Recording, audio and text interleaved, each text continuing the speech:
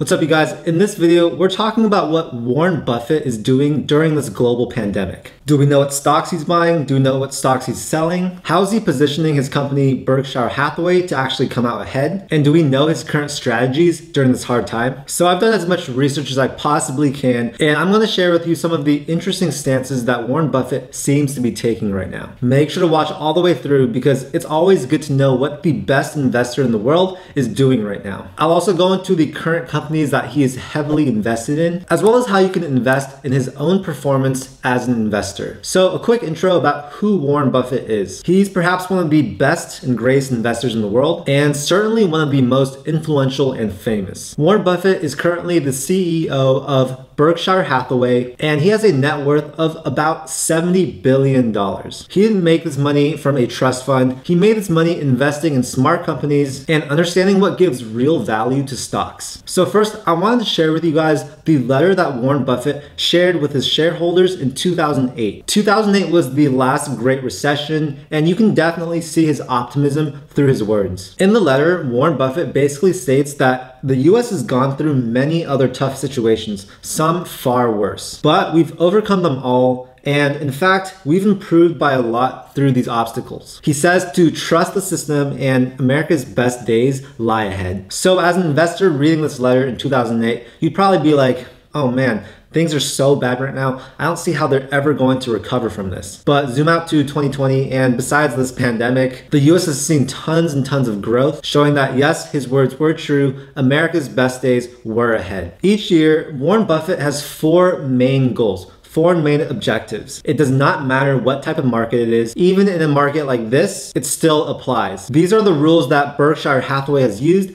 to become one of the most successful investment firms in the world. So the first rule is that they want to maintain their top tier financial position. They want lots of liquidity, modest liabilities, and many multiple sources of revenue and cash. Two, they want to find businesses with competitive advantages. If they're already investing in a company, they want to really build those advantages and really separate that company from the rest of the pack. Number three is they want to diversify and increase their streams of revenue. And number four, they want to take care care of the employees and managers who have made Berkshire Hathaway such a successful company. You have to realize, yes, Warren Buffett is the head of Berkshire Hathaway, but a lot of his success is reliant on his actual employees and people who manage the money. These four reasons are clues as to why Warren Buffett came out of the 2008 recession so strong. He was able to restore confidence in the markets when they dropped in 2008 and was a key player in helping investors keep their cool. I mean, investing is a hugely emotional game, and when you see huge drops, it's only human nature to get really scared and panic. A lot of it is out of your control, and I think that's what made a lot of people so frantic during the 2008 recession. So keep these strategies in mind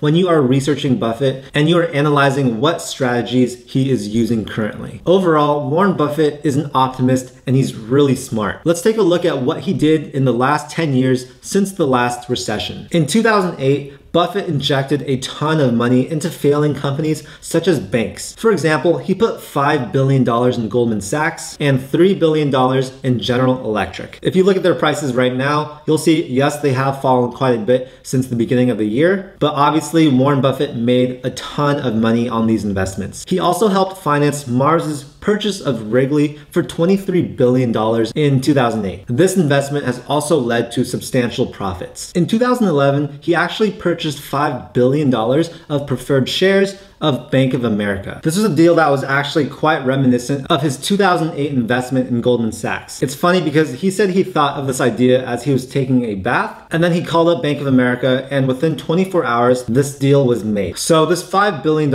investment gave him a 6% annualized return on his investment and also came with the option to purchase up to 700 million shares of Bank of America at $7.14 a piece. He would be able to exercise this option anytime time in the next 10 years. Now, if you look at the stock price of Bank of America after, you can see that it got to the mid 30s by early this year. So of course, Buffett became one of the biggest shareholders of Bank of America and he made quite a substantial profit from this deal. Now that's got me curious when Warren Buffett is taking baths these days, what is he thinking about and what is he planning on investing in? So overall, Warren Buffett profited about $10 billion over five years after the 2008 recession. He used his large amount of cash and pumped it into companies that were solid but were having problems. He also kept his optimism up and shared this with other investors, and this really helped keep the economy afloat. So while he was quite vocal in 2008 with what he was doing, Actually, right now, he's been pretty quiet. Possibly the largest news that we've seen from Warren Buffett recently is when he sold $300 million of Delta stock and $75 million of Southwest stock. Now, this seems like a lot of money, and yes, it is a lot of money, but it actually wasn't a big part of his holdings for these two particular companies. This made the news because people were wondering why would he sell, especially when he had just purchased a ton of Delta stock one month prior. This resulted in him losing quite a bit of money. I mean, if one of the best investors in the world sells a ton of his stock merely one month after buying them and losing money, I too would be thinking, why would he do that and what was his intention? So I made another video going into these reasons and trying to explain why he might have made the decision to sell so much of his Southwest and Delta stock. I'll post that video link in the description below, but it seems seems like it was due to financial reasons. The federal government started requiring airlines to actually issue cash refunds instead of just issuing credit refunds. This affected the balance sheet of these companies a lot, and I think Warren Buffett saw that that could create a ton of cash flow problems, especially if the travel industry was slow to recover from this pandemic. Also, everyone was super focused on travel and hospitality stocks since they were so affected by this pandemic and their values dropped so much. Though we don't know exactly what Warren Buffett Buffett and his team over at Berkshire Hathaway are doing right now, it does seem like they are staying pretty conservative. Yes, he's lived through many recessions, but he hasn't lived through anything that was quite like this. Just last week, 4.4 million people filed for unemployment, bringing the total unemployment numbers to 26.5 million. That's an over 20% unemployment rate. We haven't seen anything like this, and it's also something that's quite hard to predict, since of course this current situation is due to a virus. Yes, we can socially distance ourselves and lower the numbers, but who knows how long this will be a problem, and who knows if there might be a second or third or fourth wave of infections. If there are additional waves of infections, then this could definitely create more and more shutdowns, further affecting the economy economy. Right now, he does have about $130 billion in cash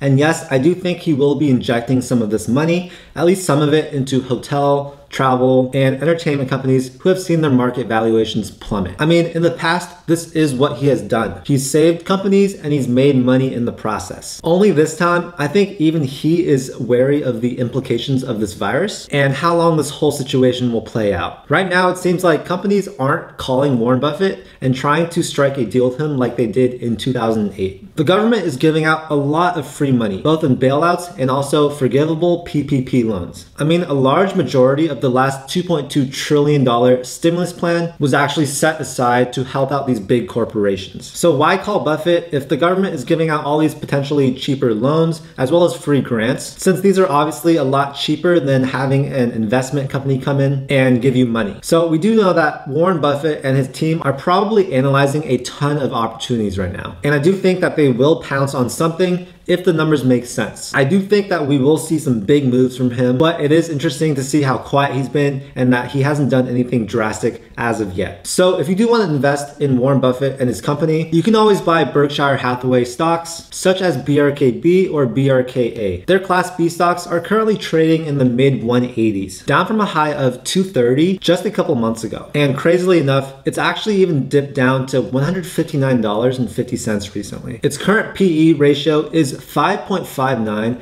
based on its current market valuation. I do invest in Berkshire Hathaway because I do trust Buffett and I do trust that he will do something substantial in the coming months. Let's also take a look at some of the other companies that Berkshire Hathaway is heavily invested in. Berkshire currently has huge holdings in Apple, AAPL, American Express, Bank of America, Coca-Cola, Wells Fargo, Delta, Southwest, Bank of New York Mellon, JP Morgan Chase, and Kraft Heinz. Now, this doesn't necessarily mean that it's smart for you to actually invest individually in these companies. Just because he has a large holding of these companies doesn't make them automatically a good buy. I definitely want to see what he has to say on May 2nd at his Berkshire virtual summit meeting. I really hope that he gives some insight as to what he's planning on doing, and I also hope that he gives investors a few words of optimism. Optimism is always good, especially in a market like this when panicking can just create huge and unnecessary drops. So guys, the takeaway, we don't know exactly what Warren Buffett is up to right now, but if we study his past actions and his four main rules in investing, I think we have a pretty good understanding of what he might be looking for. It seems like yes, he is looking for some type of opportunity in order to inject some cash and make some profit while helping out a company that is currently struggling. As far as your own investment strategy, make sure to have a diversified portfolio, including proven blue chip companies that will help you make it through this pandemic and actually come out ahead in the long run. Don't make any huge bets Although it is okay to invest part of your portfolio in something a bit more risky. But just know that yes, you could lose your money and there are lots of safer companies that you could invest in. Also, don't focus just on returns. Also look for value. This is because value decreases far more slowly than money. Money can disappear just like that. Whereas if a company has real value, that value won't really go anywhere. For me, Warren Buffett has taught me just to be more optimistic, especially in the long term because yes, proven businesses in the history of the United States have all made it through these recessions. So while this recession is a bit unlike the other ones, it's safe to say that yes, we will get through this okay. Thanks so much for watching you guys. If you haven't already, make sure to sign up for Webull and claim your two free stocks worth up to $1,400. I use this platform for trading and yes, it is a solid and free way to get into investing. I'll put a link in the description below. If you want to see more stock videos just like this, make sure to subscribe to stay up to date. I make tons of videos about personal finance, investing, and entrepreneurship. Oh, and give this video a like if you found it useful, as it will help share this video with more and more people. Thank you so much, happy investing, and I'll see you guys in the next video. Peace.